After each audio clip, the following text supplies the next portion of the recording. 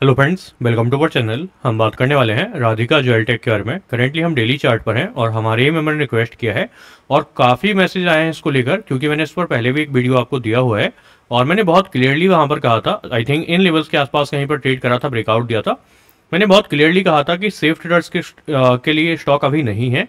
आने वाले टाइम में जो वन का लेवल है यहाँ इस लेवल पर जब आता है इसके बाद कभी भी आपको एक सेलिंग देखने के लिए मिल सकता है। और एक मेजर करेक्शन आपको देखने के लिए मिल सकता है मतलब ठीक ठाक करेक्शन हो सकता है।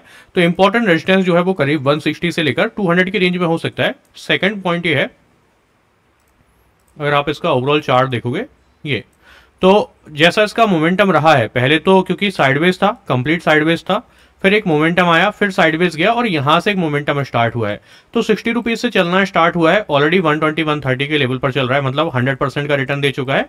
तो अब आप इसमें ज़्यादा प्लान नहीं कर सकते हो कि कहाँ पर टारगेट होगा या कितना जा सकता है। लेकिन आप ये ज़रूर प्लान कर सकते हो कि अभी रिस्क कितना है इसको बाय करने के लिए? क्योंकि अगर आपने बॉटम से बाय किया है एट्टी रुपीज़ के आसपास जब इसने ब्रेकआउट दिया था तो फिर कोई प्रॉब्लम नहीं है। डबल के आसपास से आप हाफ़ क्वांटिटी निकालोगे और हाफ़ क्वांटिटी होल्ड कर जाओगे तो आपका टोटल कैपिटल जो है वो आ गया वापस और जो प्रॉफिट है वो मार्केट में है। तो जिससे कोई दिक्कत नहीं है, अगर आप इसको किसी भी लेवल तक होल्ड कर जाए। लेकिन जो लोग फ्रेश बाइंग करना चाहते हैं उनके लिए ये है कि अगर आप one fifty one thirty one forty के लेवल पर अगर ले रहे हो, और इसमें अगर 50 परसेंट का भी करेक्शन आता है, जो मोमेंटम दिया है, उसका अगर ये 50 परसेंट भी करेक्ट करता है, अब 50 परसेंट करेक्शन जो नए लोग हैं, जो आजकल ही मार्केट में उनको नहीं पता होगा कि इतना करेक्शन होता है।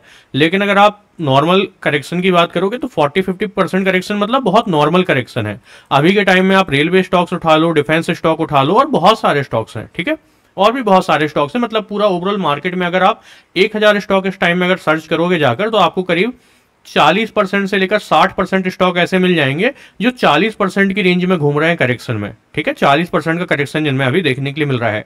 तो 40-50 परसेंट का करेक्शन बहुत नॉर्मल है।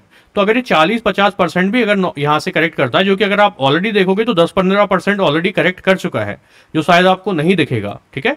तो अगर 40-50 परसेंट का करेक्शन देता है, आपको लॉस बहुत ज़्यादा दिखने वाला है और शायद वहाँ पर आप होल्ड भी नहीं कर पाओगे अपनी पोजिशन को, ठीक है? क्योंकि आप मिड टर्म या लॉन्ग टर्म के लिए तो जा नहीं रहे हैं, आप जा रहे हैं सिर्फ़ शॉर्ट टर्म के लिए। Right right? अगर आप अभी देखोगे तो कितना 18 परसेंट डाउन है। मतलब टॉप से अगर आप बॉटम अभी देखोगे जो करेक्शन आ चुका है, वो 18 परसेंट के आसपास है ऑलरेडी और 18 टू 20 परसेंट बहुत बड़ा होता है, मैंने ऑलरेडी आपको कहा। तो अगर यहाँ से 10 से 15 परसेंट और फॉल करता है मतलब 120 की रेंज में भी आता है तो करीब 30 परसेंट का करेक्शन है। 30 परसेंट शॉर्ट टर्म में बहुत ज़्यादा होता है, इसीलिए मैंने मना किया था वहाँ पर कि बाइंग के लिए मत प्लान करिएगा अभी के टाइम में। तो अगर किसी ने भी टॉप के आसपास बाय किया हुआ है तो दस से पंद्रह का लॉस तो बहुत आराम से चल रहा है। सेम टाइम में अगर वन के लेवल पर आता है तो आपका जो लॉस है, वो ट्वेंटी से ट्वेंटी परसेंट तक भी हो सकता है। मेरे अकॉर्डिंग सेफ़ ट्रेडर्स के लिए स्टॉक अभी नहीं है। आने वाले टाइम में अगर करेक्शन मिलता है तो 120 का लेवल हो गया 100 का लेवल हो गया। ये अच्छे लेवल्स हो सकते हैं, जहाँ पर हम रिवर्सल के टाइम में बाइंग प्लान कर सकते हैं। फ़िलहाल के लिए स्टॉक नेगेटिव दिख रहा है तो गलती से भी होल्ड करने का प्लान मत करिएगा। ये सोच करके कितना ही गिर जाएगा।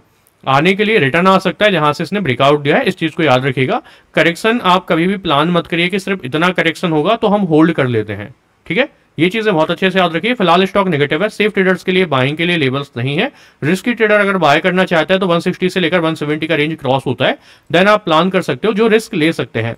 जो सेफ़ ट्रेडिंग करते हैं दूर रहिए है, आपके लिए स्टॉक नहीं है। बाकी ऐसे किसी भी स्टॉक पर आपको एनालिसिस चाहिए स्टॉक का नाम कमेंट कर सकते हो। सपोर्ट या रेस्टेंस लेवल्स की आप हमें टेलीग्राम चैनल पर मैसेज कर सकते हैं। जिसका लिंक डिस्क्रिप्शन चैनल के अबाउट बॉक्स में दिया हुआ है। वीडियो पसंद आता है वीडियो को लाइक करना। चैनल को सब्सक्राइब करना मत भूलिएगा। Thank you so much